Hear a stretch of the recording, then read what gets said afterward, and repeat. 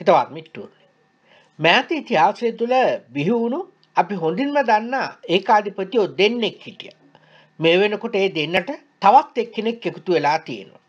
පෞගිය කාලේ අපි දැනගෙන හිටියේ රණසිංහ ප්‍රේමදාසත් මහින්ද රාජපක්ෂත් කියන්නේ ලේ පිපාසයෙන් පෙළුණු භයානක මිනිවමරෝ දෙන්නෙක් කියන කාරණය.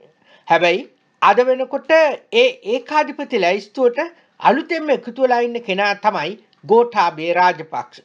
විශේෂයෙන්ම ප්‍රාදේශීය සභාවකවත් මන්ත්‍රී කෙනෙක් නොවී හිටපු ගෝඨාභය මේ තනතුරට පත් වුණේ මේ රටේ ඉන්න බෞතරයක් දෙනාගේ ජාතියාලයට කතා කරලා. එහෙම නැත්තම් අර ඇගේ තියෙන තිරිසංකමට කතා කරලා. එහෙම නැත්තම් වර්ගය පිළිබඳ හැඟීම අවුස්සවල. විශේෂම මේ පිළිබඳ හසල හැකියාවක් තියෙනවා මහින්ද රාජපක්ෂටත් ගෝඨාභය ඇතුළු ඒ හතර වර්ගයට. ඉතින් මිට්ටුනි කෙසේ වෙතත් මේ මොහොත වන විට ගෝඨාභය රාජපක්ෂ තමන්ගේ කැබිනට් මණ්ඩලය පත් කරලා තිබෙනවා. විශේෂයෙන්ම හැමෝම දන්න කාරණයක් තමයි ගෝඨාභය රාජපක්ෂ කියලා කියන්නේ මේ රටේ සිවිල් නීතියට ගරු නොකරන සාමාන්‍යයෙන් හමුදා නීතිය කෙරෙහි වැඩි විශ්වාසයක් තියන් ඉන්න තිරිසනෙක්. මේ නිසා මොහු බොහෝ වෙලාවට රජයේ සිවිල් තනතුරු වලට පවා පත් කරලා තිබෙන්නේ හමුදාවේ ඉහළ නිලධාරීන්. ඔබ දන්නවා හමුදාවේ නිලධාරීන් කියලා කියන්නේ විශාල ඇඟක් තියෙන පුංචි මොලයක් තියෙන සත්තු జాතියක්.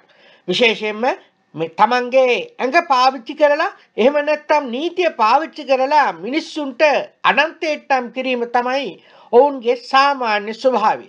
එනිසා උන්ට සිවිල් නීතිය පිළිබඳ බරපතල අවබෝධයක් නැහැ. ඒ කෙසේ වෙතත් මිත්තුරුනි මේ නිශ්චිත මොහොතේ කැබිනට් ඇමතිකම් බෙදීමේදී විශාල වශයෙන් ආන්දෝලනයට තුඩු දෙන සිද්ධි සිදුවමින් තිබෙනවා. මේ අතරින් එක සිද්ධියක් තමයි අලි සබ්රිට අධිකරණ ඇමතිකම හිමිවීම. මිත්‍රවනි බොහෝ දෙනෙක් බලන් හිටියා ඒ වගේම විජේදාස රාජපක්ෂ දඩ ඇඳගෙන දත් මැදගෙන ඇඳුම් මහගෙන බලන් හිටිය අධිකරණ ඇමතිකම ගන්න. විශේෂයෙන්ම විජේදාස රාජපක්ෂ හතර අතට පනිමින් විශේෂයෙන්ම කැබිනට් ඇමතිකම් ගන්නේ මේ රටට තියෙන ආදරයට නෙමෙයි. විශේෂයෙන්ම තමන්ගේ කොල්ල තුන්දෙනාට අවශ්‍ය කරන විදියට හම්බ කරගන්න. විශේෂයෙන්ම විජේදාස රාජපක්ෂගේ කොල්ලෝ කොහොමද පහුගිය යහපාලන ආණ්ඩුව කාලේ හම්බ කරේ කියලා බොහෝ දෙනෙක් දන්නවා. කෙසේ වෙතත් අලි සබ්රිගේ පත්වීම සම්බන්ධයෙන් මේ වෙන විට ශ්‍රේෂ්ඨාධිකරණයට පෙත්සමක් ඉදිරිපත් කරමින් තිබෙනවා.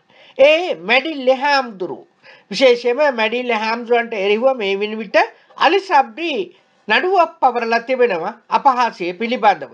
විශේෂයෙන්ම මෙහිදී මැඩිල්ල හාමුදුරුවෝ ශ්‍රේෂ්ඨාධිකරණ ඉදිරියට ගිහිල්ලා ප්‍රකාශ කරමින් තිබෙන්නේ තමන්ගේ මූලික අයිතිවාසිකම් මේ අලි සබ්රි අධිකරණ ඇමති කිරීම තුළින් උල්ලංඝනය වෙනවයි කියන කාරණය.